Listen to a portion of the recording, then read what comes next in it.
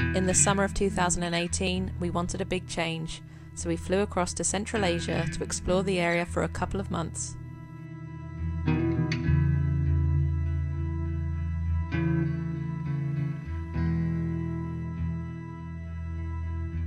Our first stop was Kazakhstan, and we couldn't wait to explore the high mountains surrounding the city of Almaty.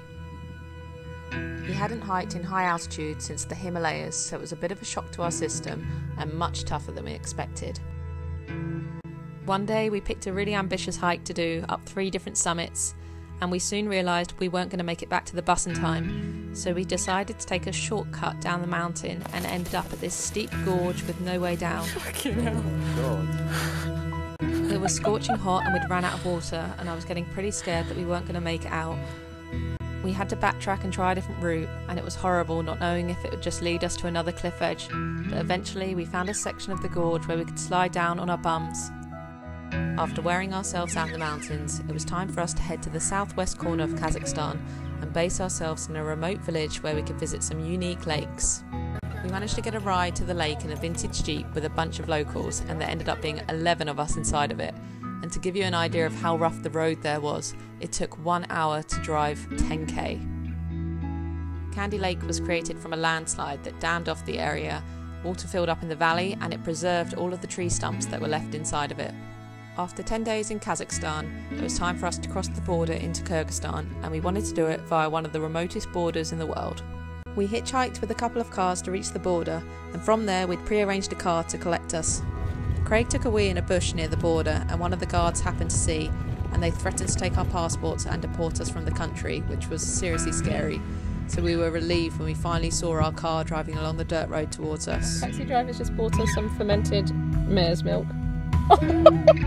It was one of the most disgusting drinks we've ever had. We were so excited to finally arrive in Kyrgyzstan and start exploring these dramatic mountains. One of our favourite hikes we did was this one up to Alakol Lake, which is a beautiful blue glacial fed lake with dramatic mountains and glaciers all around it.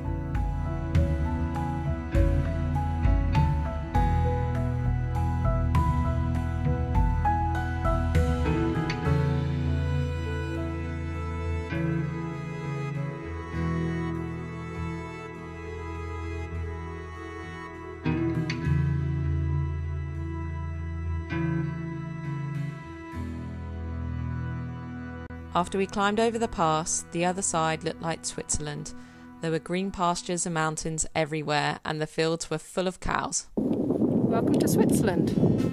I mean, Kyrgyzstan.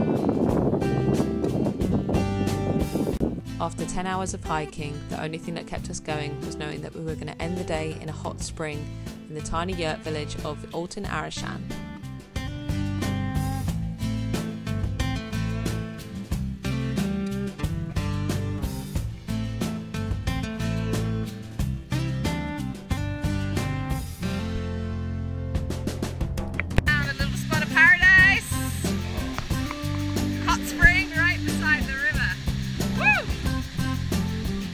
Just by luck, we managed to time our trip for a small nomad festival in Kyrgyzstan, and it was a great way to see all their cultures and traditions in action.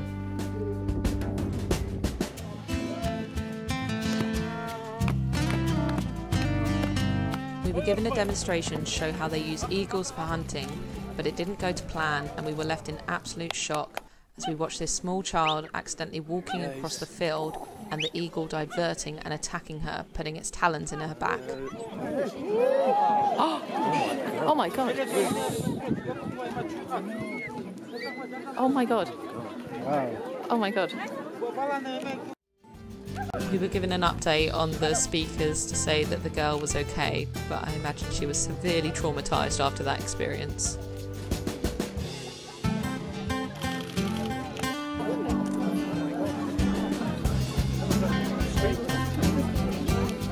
Craig and some other tourists got involved in a game of tug of war with the nomads, which of course they lost.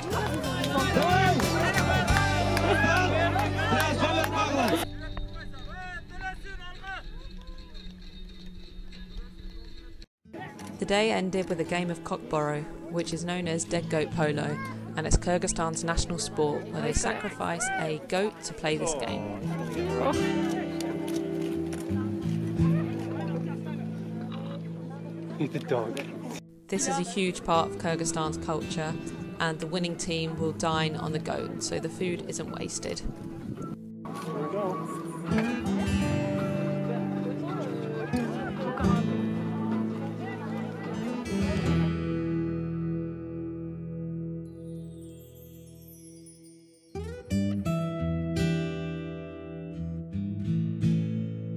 Something we didn't expect to find in Kyrgyzstan was desert scenery, but we found exactly that on the shores of Issyk Lake.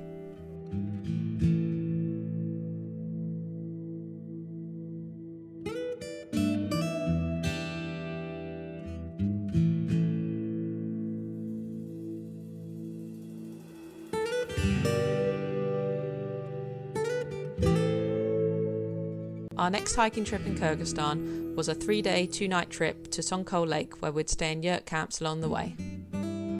The route we took was completely off the beaten path, and at times we wondered if we were lost, so after 20 kilometres of walking, we were relieved to finally see a yurt camp in the distance. The family welcomed us in, and we watched them milk the cows and horses which roamed free on the rolling hills surrounding us. The next day, we hiked over the pass and managed to find a lovely yurt camp on the shores of the lake, where we enjoyed a well needed swim.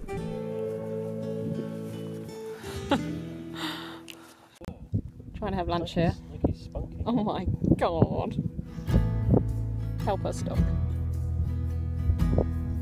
Stop it.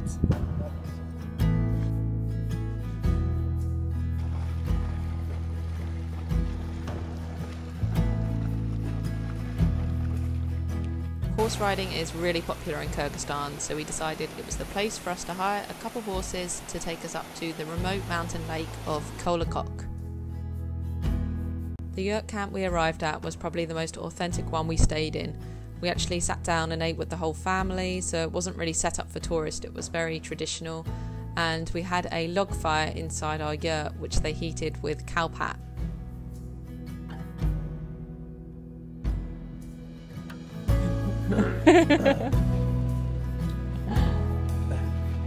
There's our breakfast, eh, kids? The scenery was spectacular. We had this amazing blue lake on our doorstep, and we even managed a two hour hike up into the mountains to a different lake. Craig!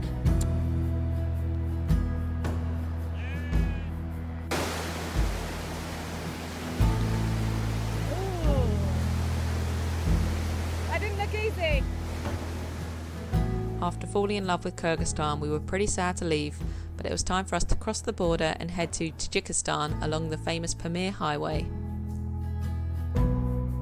We were a little concerned about doing this trip though, as just the day before, some tourists were killed on their bikes in some sort of terrorist attack.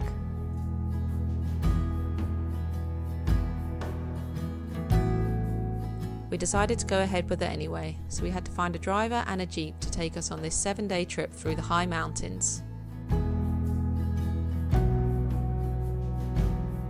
The Pamir Highway is the second highest international road in the world and it climbs to a staggering 4,655 metres.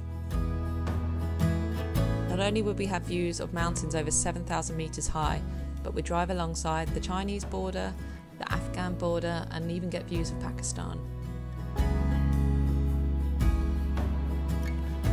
The scenery was quite stark and barren, but there were dramatic mountains and some surprisingly beautiful lakes along the way.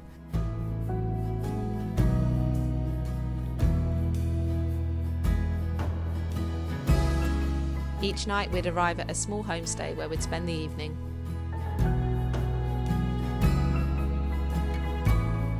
This was my favourite part of the trip as we drove through the Wakhan Valley with just a gushing river between us and Afghanistan.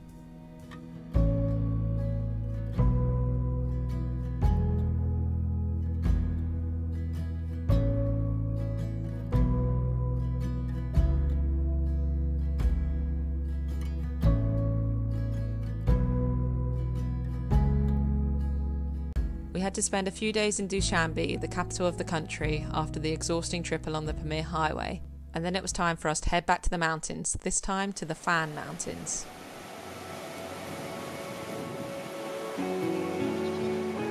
It was a stunning and untouched area of Tajikistan that doesn't see many tourists, and it's home to some of the bluest lakes set in a rocky valley.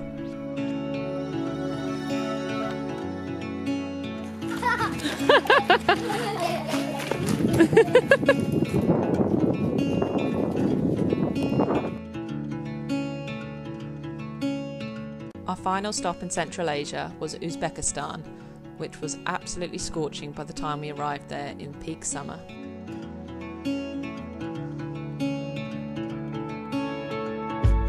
Uzbekistan was a complete contrast to what we'd been used to. Instead of hiking in the mountains, we were walking around cities exploring all the architectural wonders.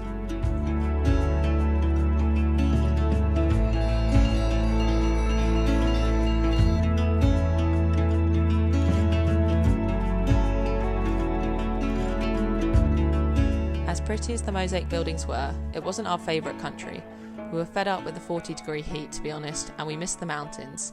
But anyway, we wanted a change, so it was time for us to head to Southeast Asia and bask on a beach in Thailand.